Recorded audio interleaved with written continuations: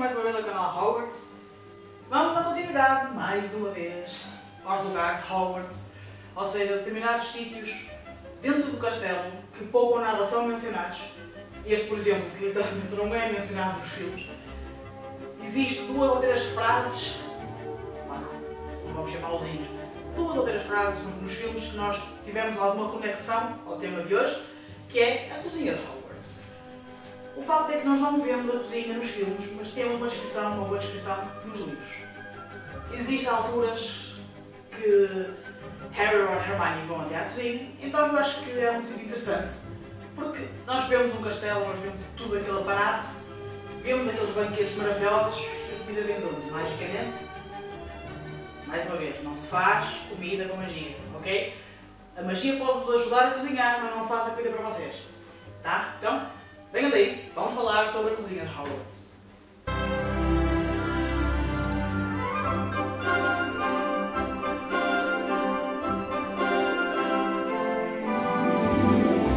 Nós temos menção à cozinha em Cálice de Fogo, porquê?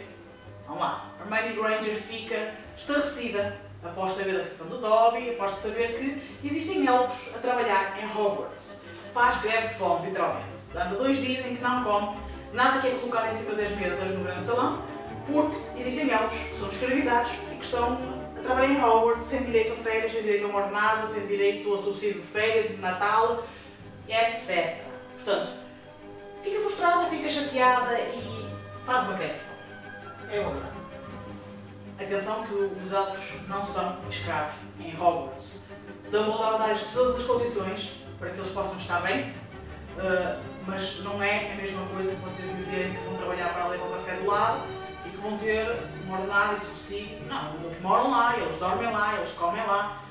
Ou seja, e Dumbledore acaba por ter uh, um certo carinho por cada elfo que trabalha dentro de Hogwarts. Ok? Situa-se a cozinha no piso inferior ao grande salão. Portanto, nós imaginemos o salão, nós temos aqueles banquetes maravilhosos. E no piso de baixo temos uma cozinha também fantástica. Para entrar dentro da cozinha é um pouco estranho, mas vamos ver se a gente se entende. Quem vai em direção à casa comum dos Hufflepuff, vocês vão encontrar um quadro. Um quadro que tem uma terrina, várias frutas lá dentro. Vocês vão encontrar também, dentro dessa terrina de frutas, uma fruta em específico, verde, que é uma pera. E nessa pera vocês vão ter que fazer umas cocinhas.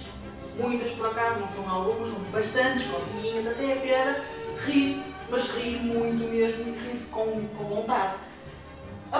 Acontecer, a pera vai se transformar numa maçaneta. E vocês aí sim podem abrir a porta da cozinha e entrar. Ok? Portanto, existe todo aquele aparato para entrar dentro de uma cozinha.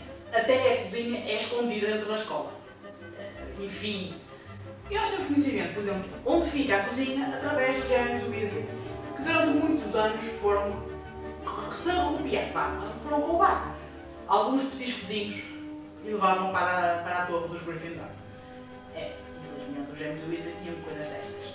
E entrar na cozinha vão ver cerca de 100 elfos que trabalham lá dentro. Entre eles, posteriormente, Dobby e o Inky. Falamos também em um outro vídeo uh, sobre o Dobby e o Inky na cozinha de Hogwarts, em que o Inky apanhava algumas madeiras com cerveja manteigada. É? Então eles trabalhavam lá também. Portanto, faz parte. São elfos, uh, são elfos livres, portanto não arranjavam nada fora de Hogwarts e Dumbledore acabou por os trazer para dentro do castelo uh, num ato de, de caridade de, si, de ser bondoso, só ele sabe ser, que é uma realidade. Uh, trouxe Dobby e trouxe Mickey para Hogwarts. A disposição da cozinha é exatamente aquilo que vocês vão ver no, no grande salão. Portanto, nós temos quatro mesas, corridas, compridas, uh, né? Slytherin, uh, Gryffindor, Hufflepuff e Ravenclaw. Portanto, ao fundo vamos ter a quinta mesa comprida, que é ali da sala dos professores. Então, temos Dumbledore, Severus Snape, a professora Sprout, a professora McGonagall, etc. Essa disposição é exatamente a mesma no, na cozinha. Porquê? Os elfos põem as mesas no piso inferior, certo? Ou seja, todos os pratos, todos os puros assados, todas as batatas assadas, todas uh, as salsichas na manteiga, aquelas terrinas gigantescas de pequenos almoços, tudo isso é colocado e é posto, talheres, pratos, copos, naquelas mesas em baixo. E magicamente, quando Dumbledore dá a sua ordem, a comida sobe para o piso de cima. Portanto, eu ponho aqui uma mesa, eu ponho aqui a mesa, ponho tudo direitinho em cima da mesa e com um toquezinho, toda a comida só para o meu vizinho de cima, à sala dele, se ele tiver uma mesa como a minha. Não sei se estão a perceber, a captar a ideia da mas eu acho que sim. Portanto, aquela cozinha é, uma, é algo normal. Tipo, sim, nós vemos tais, pratos, copos, panelas, talheres, é uma cozinha, certo? Tem uma lareira gigante, bonita, que aquece para cá um bocadinho falar que aquilo é um castelo, e apesar de ser uma cozinha, os ovos também são pequenininhos e o frio é, às vezes, em determinadas alturas do ano, é crucial, é muito, muito, muito, muito mau em Hogwarts. Então, existe uma lareira.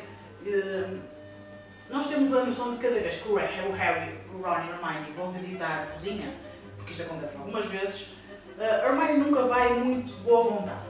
Nós sabemos que ela criou a Babe, portanto, nós temos conhecimento da fundação toda que, a, que ela criou, da Brigada de Apoio uh, aos Elfos Domésticos.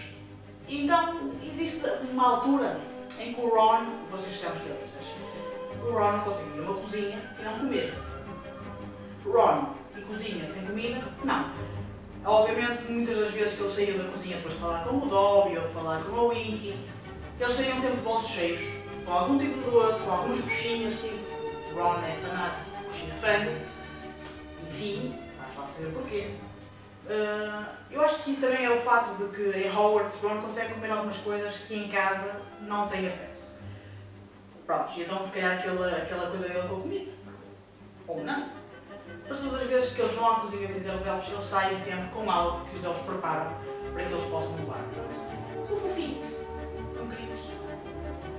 Esta é a cozinha de Hogwarts. Nós temos conhecimento dela em Cálice Fogo, como eu já mencionei. Apesar de, ser um sítio que não é mencionado nos filmes, é um sítio que é mencionado apenas nos livros, mas acho que é bom que vocês conheçam, sim, existe uma cozinha em Hogwarts, fica perto da casa de Hufflepuff. Não há magia para fazer comida, meus amigos, então esqueçam uma varinha para, para, aparecer um bife a cavalo, não vai acontecer. Existem elfos, e são 100 elfos para criar aqueles menus de todos os dias. Almoço, jantar, pequeno almoço, lanche, dentro do castelo em Hogwarts, para centenas de, de alunos que estudam lá coisas não, nem tudo é magia e há trabalho arte também ali. Por hoje é tudo. O vídeo vai ficando por aqui. Espero que vocês subscrevam, deixem o vosso like, sigam-nos no blog também e vemos no próximo vídeo. Tchau!